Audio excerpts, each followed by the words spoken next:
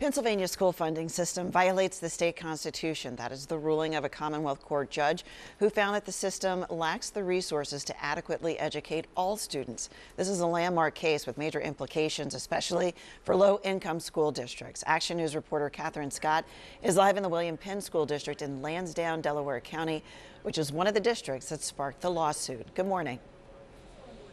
Good morning, Tam. This was a long awaited decision in a landmark case, William Penn School District, among the plaintiffs, which includes six school districts, the NAACP, and the Pennsylvania Association of Rural and Small Schools, calling for more equitable distribution of funds for Pennsylvania students. The lawsuit was launched in 2014. The plaintiffs, seeking additional annual aid, argued Pennsylvania's school funding system relies too heavily on local property taxes, which helps widen the gap between rich and poor districts.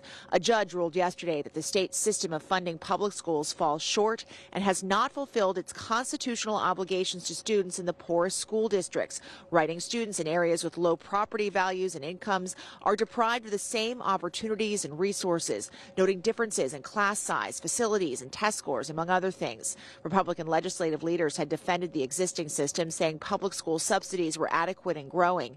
The ruling does not tell the legislature how to distribute the state aid. The decision left to the governor lawmakers and school districts. The Public Interest Law Center and the Education Law Center represented the plaintiffs.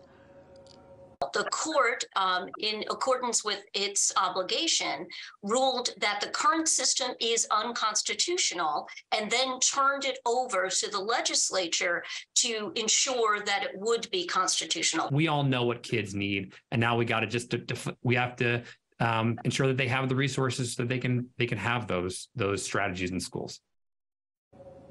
The ruling is close to 800 pages and could be appealed, but the plaintiffs intend to argue against a stay, which would mean the process to make changes changes would start now. We're live in Lansdowne. Catherine Scott, Channel 6 Action News.